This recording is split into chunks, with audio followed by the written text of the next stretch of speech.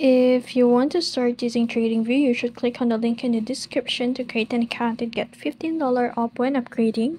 In this video, I'm going to show you how to change lot size on TradingView. Now, on your TradingView account on the left side, click this long position and then put it to your preferred candlestick position. So, in this case, I'm going to put it in here now, now on the upper right side above, you will see here the indicators for your long position. Now click the setting and then you will see here the lot size.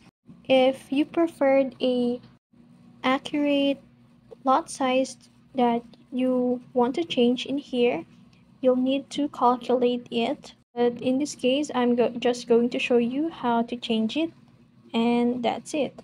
That's how you change lot size on TradingView.